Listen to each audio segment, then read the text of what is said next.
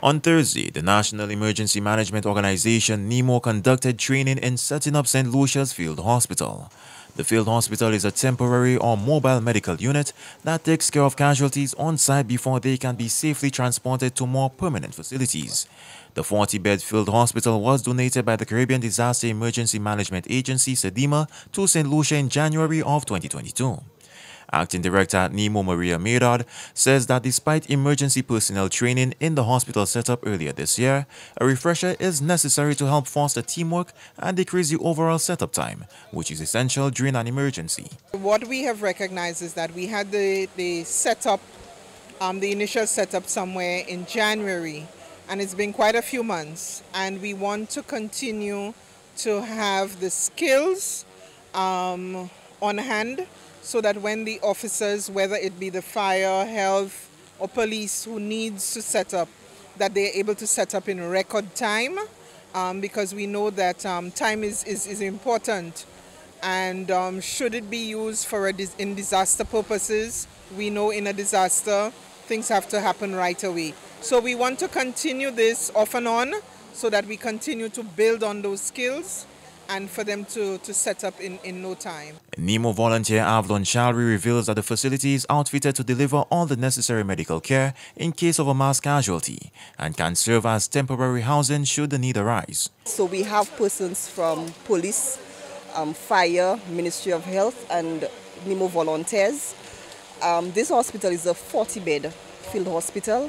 So in the event of, of a national disaster, if we need um, any additional support for any of the national hospitals, this facility can provide that. In addition, um, it can be used as temporary housing as well. So if we, we have a situation where we need to open additional shelters and so on and we don't have the physical structures, this can be set up for that.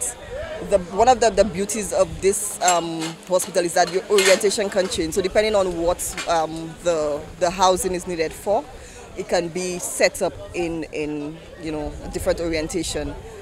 Um, it has facilities for the wards to accommodate the 40 beds. It has a tent for a nursing station. It also has a tent for a triage area as well if it is to be used as, as a hospital. To build national capacity and lend assistance to other CDEMA territories when necessary, the trainees from the previous setup exercise in January are passing on information to recruits. For me, well, it's a privilege just being here, part of this initiative where we had, well, first what they told us, we had this donation from the US and then bringing to us and being involved in a venture like this where a lot of us, is the first experience um, and they're just building on it, meeting different guys, you know, the fire service, Royal St.